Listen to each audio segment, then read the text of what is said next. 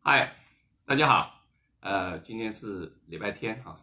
那昨天我们经过一些辩论，然后大家都有一些想法跟讲法，但是我常常觉得台湾的政治人物好像都不知道到底外面发生了什么事情，尤其呃我们的蔡英文总统一天到晚抱着抱着美国的大腿，然后把大陆当作是敌人，可是，在昨天的 G20 里面。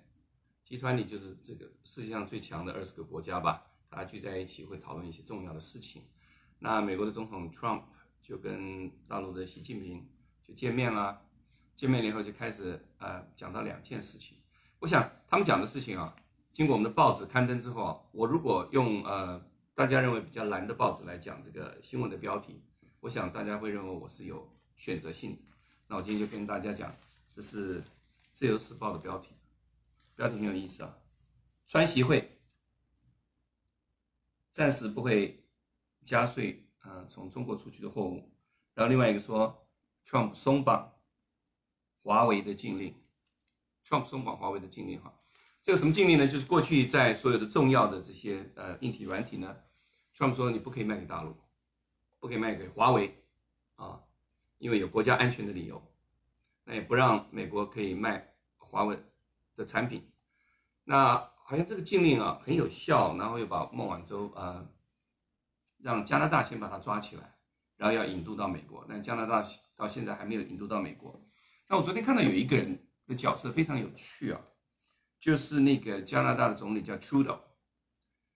Trudeau 昨天在会议里面啊，跟记者会里面讲的话，简直就像一个呃少不经事的大男孩。第一个，他们最主要要要求的是什么呢？就是要呃，大陆要释放呃拘留的两个加拿大的人。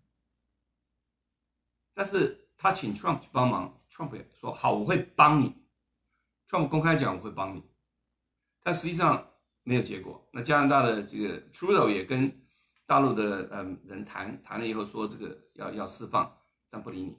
很简单嘛，大陆人会认为说你抓了我们的公民。那我也可以抓你的公民啊，而且你抓我，我的公民根本我的公民没在你加拿大犯罪啊，是美国人认为他犯罪，但是美国人也没有提出正式的控诉的罪名，然后你就把这这个中国人抓起来，孟晚舟抓起来了，那中国人对加拿大马上采取了措施嘛，就是你抓我的人可以，我也可以抓你的人，而且我抓你的人是有在中国境内贩毒犯法的行为哦，那加拿大呢？更糟糕的是，它的农产品跟美国一样，都被大陆禁止进进口。找的理由也很简单，说你里面有放了呃所谓的禁药的成分，超过了，他们也完全不让你进口。然后他在在进关的时候检疫给你拖慢了啊。但到最后是怎么回事？加拿大农产品都不能销到大陆。各位要晓得，加拿大的农产品外销到大陆是非常重要的，就跟美国的农产品。大豆啦、牛肉啦、猪肉啦，这些产品要销到大陆也是同样的，非常非常非常重要的。你销不出去以后，那这些农民就惨了，就破产了。像美国最近有好几个大的农民都破产了。那加拿大终于很高兴的跟大陆昨天也谈成了，牛肉、猪肉可以再可以进到大陆去。但进到大陆去的话，我可以跟各位讲，前途还是不知道的，因为随便在海关就可以有一个理由，你就你就进不了。大陆了，你检疫的时间拖长了也不行哈。那我前一阵子在看那个，呃，有一个影片里面就说，美国的那个大豆、黄豆的谷仓啊都塞满了，那呃肉品的那个冷冻库也都塞满了。为什么？因为大陆不买了，不买了以后你就完蛋了，你就卖不出去了，然后就要跟开开始跟大陆谈。那 Trump 不是一样吗？如果美国的农民因为 Trump 对大陆采取的不公平的贸易征税之后，货物卖不出去了，农民一家一家的倒哎，这以前没有发生的是一家一家的倒哎，大公司都倒了那 Trump 还选什么总统连任啊？一定选不上。那 Trump 就是生意人，就是商人，所以他会跟大陆玩技巧，谈判的技巧。我抓你个人啦，我禁运什么啦，讲一下华为的东西是有呃国家的这个安全上的危险哈。我再跟各位讲另外一件事，就是加拿大的事情，就是关于华为的事情。加拿大它有一个叫叫做呃叫做 Public Security 这个 Ministry，就是说公共安全部。那公共安全部呢，这个公共安全部的部长呢叫 Ralph Goodell。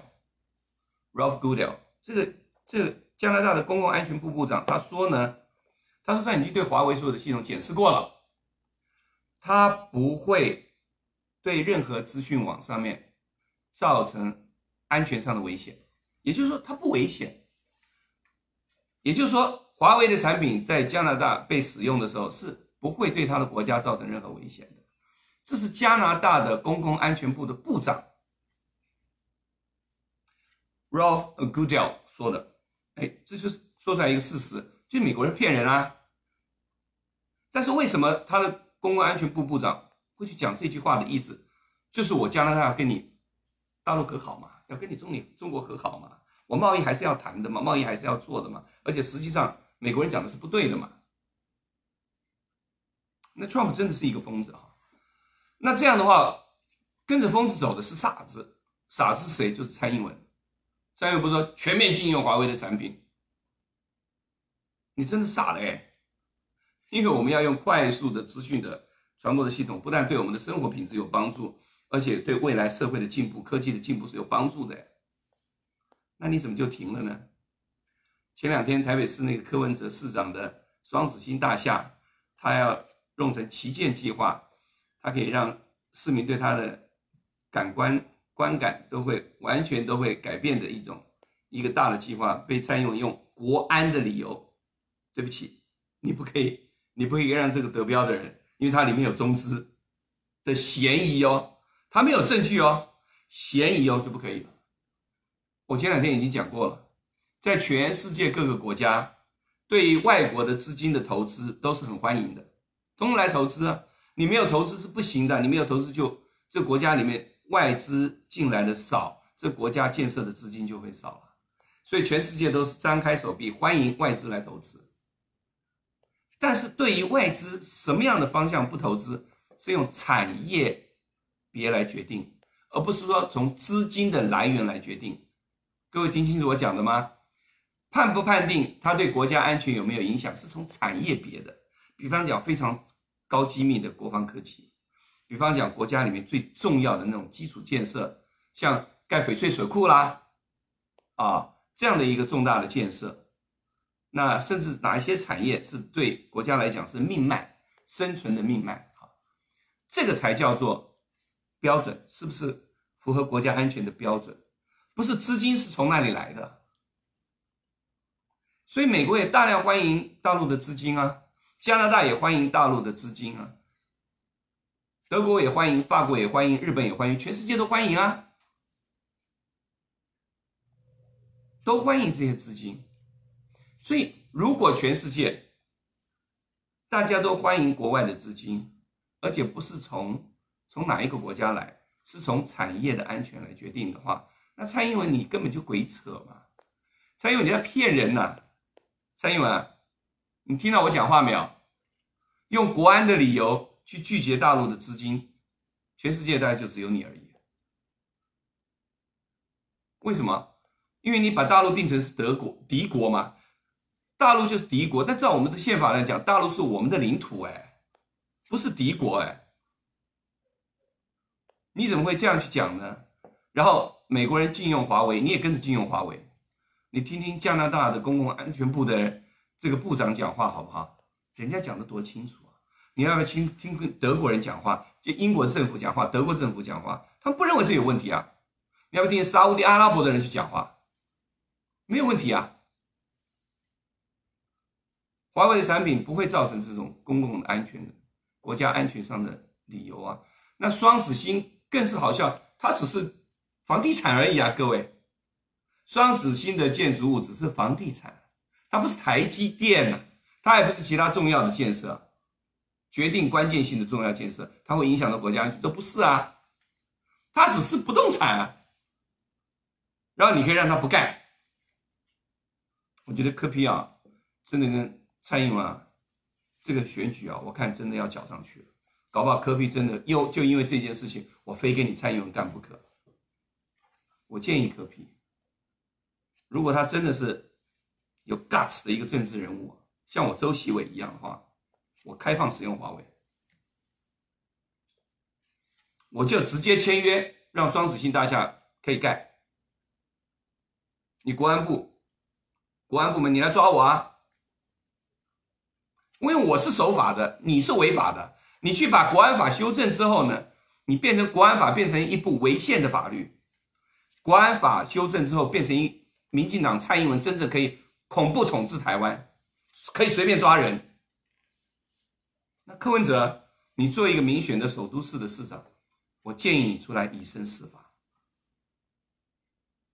要不然市长你不要来做，我来做。真的啊，你不要做，我来做。你辞职市长，我来选。我告诉你，我就敢做这个事情。什么叫民主？什么叫自由？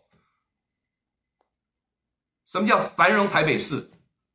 让台北市市民可以过真正的好生活，就是使用现在最先进的五 G 嘛，就是让双子星大厦可以盖嘛，就是让都更可以做嘛，就是让大巨蛋可以赶快盖完嘛。中央对你咔咔咔咔咔。啊！你在那边不敢做任何事情，那要选你做市长做什么？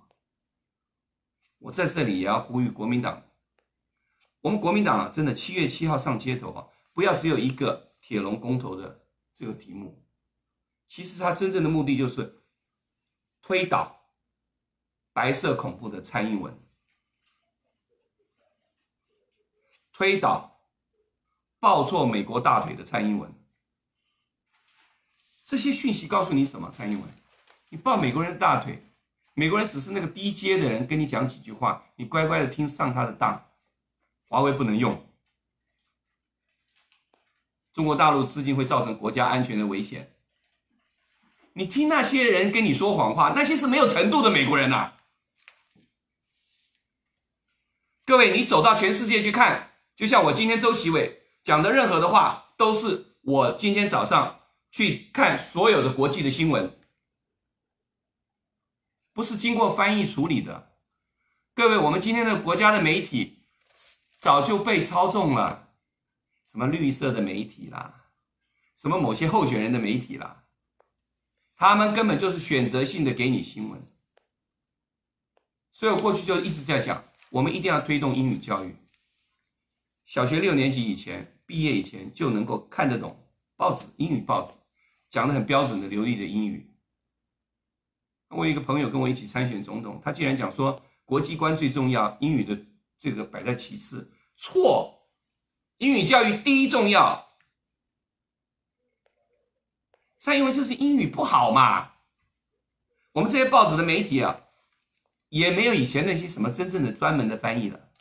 许多的记者不但是啊英语不程度不够，而且那个脑袋瓜啊。是个浆糊，是个烂石头、臭石头，跟民进党现在所有的人都一样，是那个粪缸里的臭石头，是那个老酱缸里的人。他认为给你洗脑，给你错误的讯息，你就会上当受骗。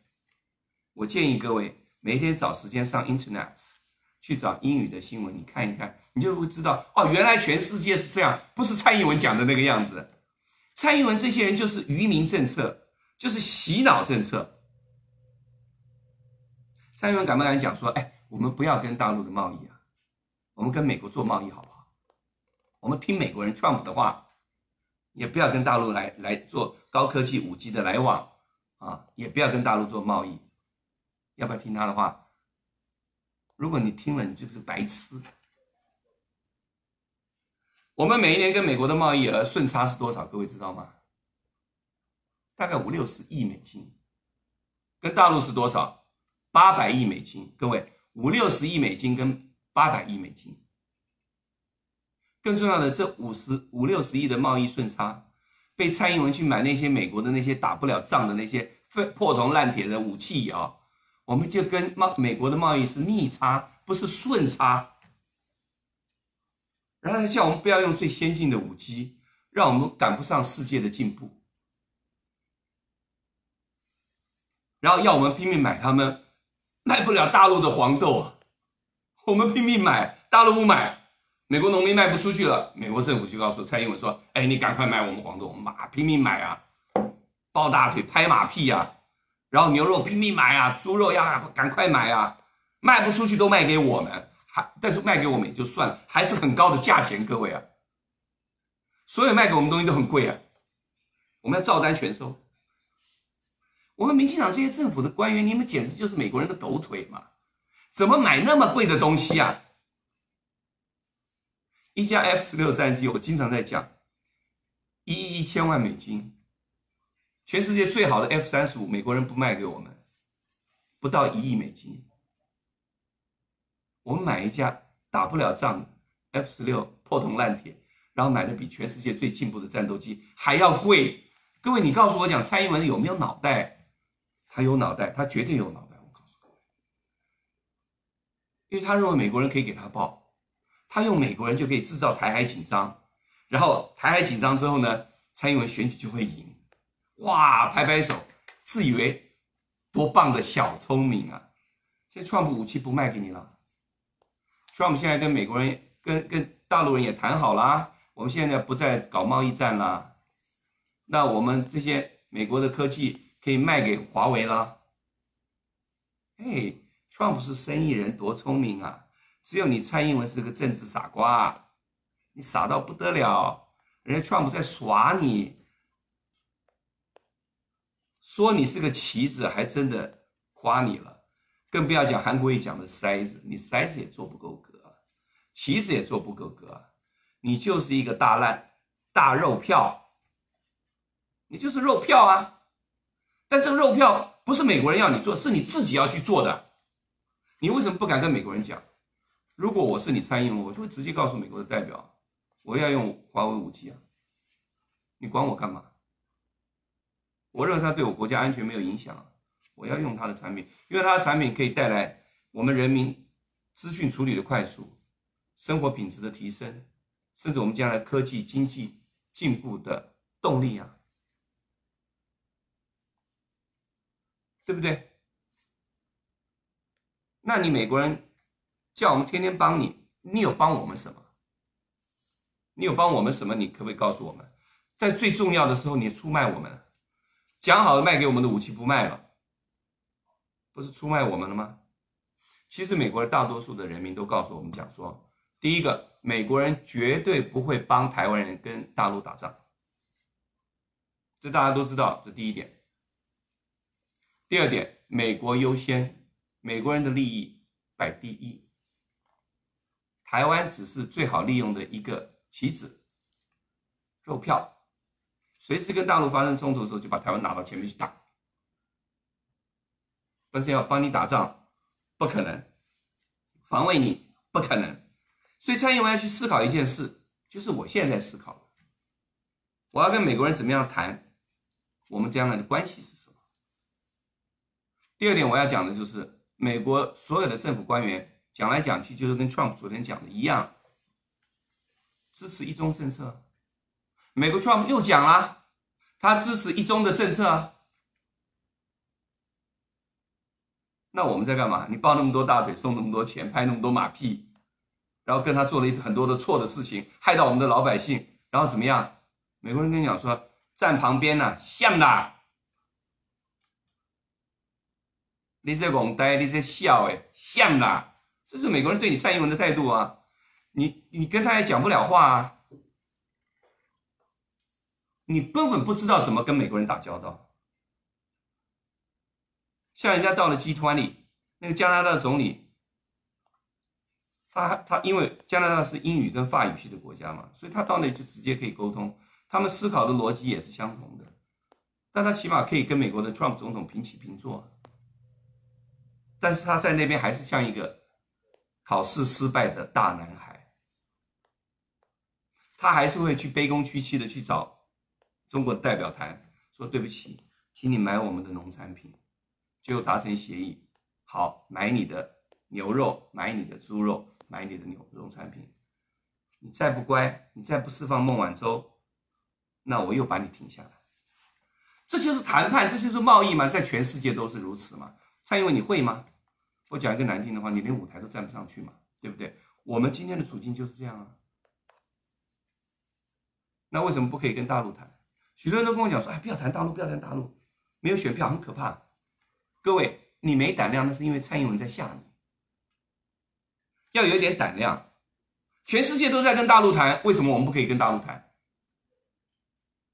而且我们还可以用共同的语言跟大陆谈，我们还可以跟他讲说，哎，你这个地方做错了，你那地方太过分了，你这地方我们的不会接受，你这地方怎么样？跟他谈嘛。全世界哪个国家不谈？现在是 Trump 又要跟金正恩谈了，要跟他谈，他不理他。为什么？我不甩你啊，但是你会来找我谈啊。所以整个的集团里，跟最近所有国际局势的转变，证明一件事情。嗯，蔡英文你真的是丢丢脸丢大了。可是我也没有看到几个国内的人。真正懂这些局势，而且有信心、有胆量，跟美国人讲这些话，跟加拿大人讲这些话，跟大陆讲这些话。但是我有，我周习伟有，我在外商公司曾经做过七年的事情，我太了解西方人在想什么，我太了解西方人要怎么对他。我告诉各位，你越是对他客气，他越是会。压你，你越是没胆量跟他争个道理，他越会欺负你。你越是没有什么，没有 muscle，人家讲没有 muscle，你没有力量，他就越欺凌你。而且不要忘记，跟美国人是还是要斗智的，你要会斗智啊，外交是要斗智的。蔡英文你没有，你连第一关。让外国人觉得你有信心、有谈判的筹码都没有，你已经先先投降了。所以我跟各位说，这次的选举大家看清楚，要做国家的领导人，就必须要站得出去，讲得出道理，看得清楚局势，而且不要再上民进党的当。我告诉各位。民进党现在真的很糟糕，民进党现在在走向独裁，蔡英文在走向一个村姑村妇。这个翻译其实不叫村姑村妇，他是不是变成是一个很笨的、很笨的一个国家领导人？但是他搞的是愚民政策，愚民政策还要吓大家。最近的国安法的修正，我一定要再提，就是恐怖开始。恐怖白色恐怖的开始，然后跟两岸不谈，两岸没办法沟通，跟外国人根本不能讲上话，就是失败的开始。要我今天是蔡英文，我会跟日本人讲说：你如果不让我跟安倍谈事情，那我们就不用谈，所有都取消都没关系啊。我们也不见得靠日本什么，我们跟日本的贸易几乎是平的。要科技，我们也不需要走日本来。农产品我们自己好好做也可以有啊，谈呐，美国也可以谈呐。我觉得你什么不对，我就跟你讲啊。不是有个 AIT 在台湾吗？找 AIT 的官员来谈呐，不是他找你谈呐，是你找他谈呐。但是要谈什么？我相信你蔡英文不会，我会。那你说吹牛，我没有吹牛啊。我经常跟各位讲的所有的事情就是事实啊。因为你们没有经验啊，而且你们要骗台湾人呢，让你们要拉美国人来做你的靠山啊，你也不懂得国际上什么叫谈判啊，你也不知道你的力量在哪里啊，你也不知道你的筹码在哪里啊，你也没有策略啊。更糟糕的是，你要拿美国人来影响到我们中华民国下次的总统跟立法委员选举啊，你被人家掐住了。被人家掐住了，然后你就开始怎么样吓台湾的老百姓？哇，跟中跟大陆来往啊，有任何的事情，我就用国安法把你秘密抓起来，秘密审判，真的很愚蠢啊！我们看了 G20 的 meeting 之后，我们看了这些事情之后，我要跟各位说的就是，嗯，蔡英文，我希望你能够醒过来。我也更希望我们全国的国民能够醒过来。中华民国过去的外交，中华民国过去的经济发展，中华民国过去的民主自由，希望不要被民进党这一次彻底的摧毁，更希望那个做错许多许多事，还在外面大言不惭说国家安全跟台湾主权，来骗大家的蔡英文，我觉得大家应该可以起来推翻他了，推翻他。如果他对大家是用恐怖统治，是用愚民策略，是用高压的破坏民主的方式来进行，大家真的可以把他推翻了。虽然选举是在一月十一号，可是我们真的可以开始推翻他，我们可以开始罢免他，罢免他。而且我呼吁所有在中华民国的知识分子，大家应该站出来，不要再躲在那里。你要站出来，我们就是因为我们大家都不站出来，所以今天的政治才会变成让民进党为所欲为。大家站出来了，各位好朋友，如果你觉得周学伟今天讲的话跟你想的是一样的，蔡英文完全是错误的，那就请大家跟我一起站出来，推翻掉蔡英文。谢谢大家，请大家多多指教。